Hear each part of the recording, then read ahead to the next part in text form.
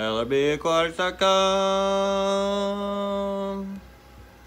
Hello world, how's it going? Hope you guys are all doing great. If not, I hope it gets better for you. So today I wanted to share with you this tank down here. Oh my gosh, that light on there, it's horrible. Hold on. Flip you guys around here. Yeah, I wish on live, I wish I could change my exposure, but it doesn't allow me to do that. But I wanted to share with you guys this tank that has African cichlid mix in it. Looks like there's some leftover clown puke in there too from when somebody else had it.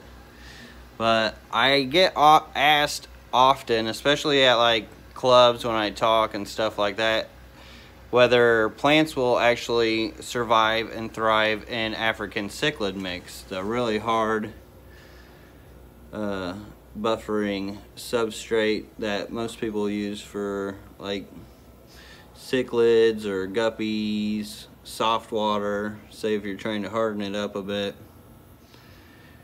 And I actually used to struggle with this plant a lot. This is a Cardnalias nobilis, something like that. I think that's right. Also known as a cardinal plant. It's always been tricky for me and this tank has absolutely no CO2. So this is a low-tech setup. This is Ludwigia arcuata. You could do like Rotala Colorado, a bunch of other Rotalas, a bunch of other Ludwigias. Then we got bronze crypt in here. And the thing about this tank as well is, if you look down here, like there's a little height there, but then you look down here, it's really, really bare. So there's not a whole lot of substrate actually in there that these are rooted to. This was a little test I was doing with just the uh, air filter a long time ago. I was just trying to keep it from being buried and just um, just trying something different. The one different thing I do have in this tank as well is there's a power head there and it actually pushes the water up and spreads it off the surface which really helps with the biofilm. I kind of like that. It seems like the plants like that too. That upward motion. Uh, let's see, we got swordtails in here. They're breeding out. We've got a ton of shrimp in here breeding out. These actually have purple neocaridinas. That's a male right there. Looking kind of chocolate though. A lot of wilds as you see. But yeah, there's a lot of plants you can actually keep in African cichlid mix. And you can keep mosses in there, say if you don't want, or you don't have good luck with stems guppy grass. There's a pennywort you can float up top. Pennywort will pretty much grab whatever. Like I said, tons of mosses you could keep. But no, I mean, this is a bronze crypt. Look how healthy this bronze crypt is. This is just a Wendtii. Absolutely beautiful. And it hardly has any substrate whatsoever. I got some Texas Holey Rock in there. And then I've got the Fluval 3.0. I do like the Fluval 3.0 pretty nice light. A little more expensive than the Aquaneat, but I mean, this would probably do the same even with the Aquaneat. This isn't really necessary, especially since I have that pump in there. I should just get rid of that because that's just kind of an eyesore. It would look a lot better with that sitting in there. But having all the tanks that I do, it's uh, easy to let that kind of stuff go when you got to deal with everything. And right now we're, we're trying to keep everything warm. Here I am in Indianapolis right now. In this tank, for instance, I think, let's see here if we get the color to show up on here. It actually, it's reading at 68. You can't see it on here, but it is reading at 68. I think this tank up here is like 70. This is the one I aquascaped not too long ago for you guys live. Looks like the bellum. Yeah, look back there, that Lymphadenophilia bellum. That actually wasn't doing that until recently, I don't think. Even though I'm not seeing a lot of the uh, pieces to it. I wonder if the cold's getting to it. But everything else in there seems to be doing well. I'm using it as a fry grow out right now. But yeah, I'm going to keep this video short. Wanted to share this with you guys, show you guys that you can plant plants in a... Uh, African cichlid mix. And hello everybody in the chat. I'm gonna go ahead and scroll through here to make sure there's no questions about this topic. Scrolling, scrolling, scrolling. Hello, hello, hello, all you awesome people. And I'm surprised how well these shrimp have been doing with these uh, swordtails. Alright, so I don't think I'm seeing any. Let's see. I grow plants on aragonite sand and some don't do well, others thrive. Yeah, so some plants do prefer softer water. Some plants prefer harder water. And um, as far as which ones are which, I'm not 100% because I get mixed reviews with them for sure. For sure. This Lymphnophilia bellum's melting too in here. It's got to be the cold.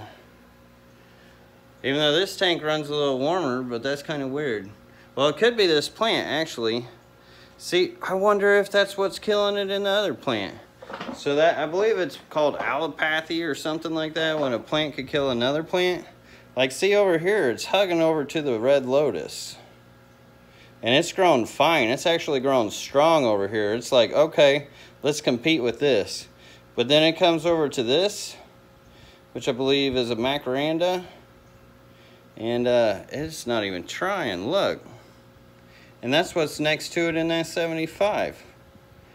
Very interesting, very, very interesting. 240 is getting a little greenish.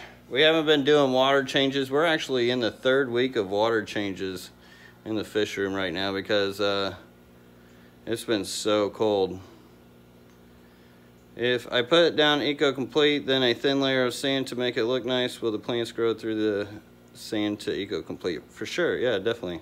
I like sand because it'll actually grip onto the plants real nicely, especially if you're putting down stems that haven't been rooted yet.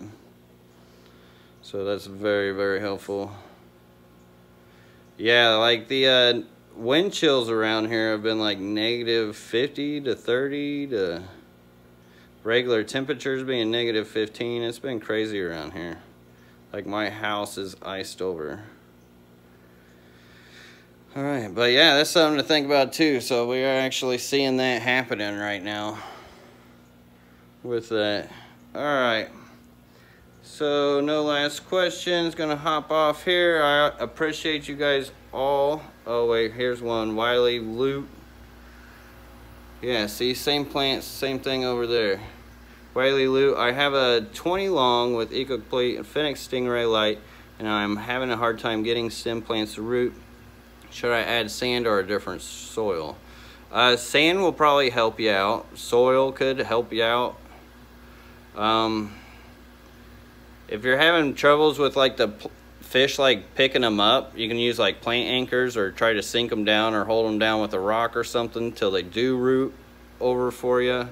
If they're just melting back to you, sometimes you can have too much light, not enough nutrients, and you can actually burn a plant out that way as well. Like a lot of these plants, they're pretty lightly lit. And I find they tend to do better, in my opinion, especially for a low tank. Do you not run heaters in your tanks? So, a few of my tanks, like the ones on the bottom here, they definitely get heaters. And then like say in the corner over here, I've got my space heater that kind of helps warm that stuff up. But for the most part, I try to keep the whole room warm.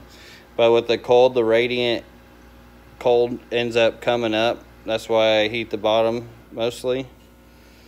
And I just gotta, I gotta watch out for that because it adds up after like so many days and whatnot. All right. But yeah, lots been going on here. Oh man, it's been a while since I actually done one of these lives too. I'm kind of out of the uh, routine here. But I'm gonna get back to that. I need to get back to that. It's just, oh, I can't wait till summer for sure. Michael Wall, hashtag summer is coming. See, yeah, I see a lot of you guys are feeling the cold as well. Who else gets fat and sassy in winter? Hey, that's me. That is definitely me. I like to hibernate too. I'm not one for the winter. Because a lot of things I want to do, like I'm planning on moving my 20 by 20 rack in my guest bedroom to make more room for like, turn that into like more like a fish breeding where I, where I can have these more display and then have that room more fish breeding. But who wants to do that when it's like negative degrees out and you don't have room to put anything? What plants do you have in your un seated tub. I don't know what you mean by that. What plants do you have in your unheated tub? The tubs outside are heated. So they have like corkscrew val and stuff in it. Uh, I hate the overcast. Nothing is worse than weeks of gray sky. Yeah, if only that was a real overcast. I watched them lay it down earlier today. Brad Waiter, any losses from the cold weather? No, so far so good. I'm hoping everything's doing good out in the ponds. I haven't even, I don't even, when it gets like this, I don't even open up the ponds. That way it doesn't let anything out. I don't mess with anything. Did my power breaker just break? What kind of heaters do I use? A Odessa? That's the only bad thing about winter too is uh, I'm really pushing the power in this house. So when I'm adding them uh, big heaters, they take out a ton of wattage and amps. So yeah, I'm lights out here. This usually happens frequently. It's because I got two heaters running. Which one is it? It's good to sometimes let that cool down a little bit too because that's what will happen is it's heating up there. It's causing it to switch over. I probably need to look into replacing those two this summer. but yeah, not enough power. I need more power. Alright. The fishy life, it's not a theory. Watch your sky, you'll see. Lucas, would koi be able to overwinter in these temps? Um, if deep enough, possibly. So, yes. Depends on how you do it. Alright, I gotta hop off here, everybody. It's been great hanging out with you. I gotta get back to it. And I think I got all the questions. So, like, subscribe, share all that jazz. And I'm planning on being on here more often. It's these, uh edited videos that are like hour long take forever. But anyways, peace everybody. Have a great one.